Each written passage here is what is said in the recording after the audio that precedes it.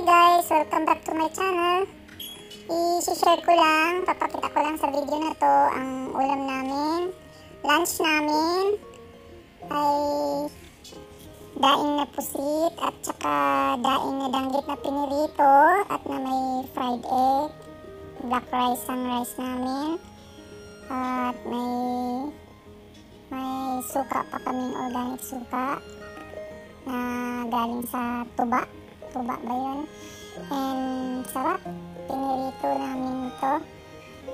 Kaso ang mahal. Mahal ng ang mahal ng daing na pusit dito at daing na danggit dito sa Manila. Sa probinsya, sa Tandag City, mura lang. Nasa 500 to 600 lang ang kilo.